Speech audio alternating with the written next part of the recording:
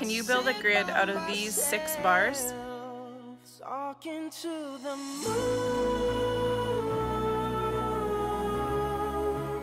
trying to get to.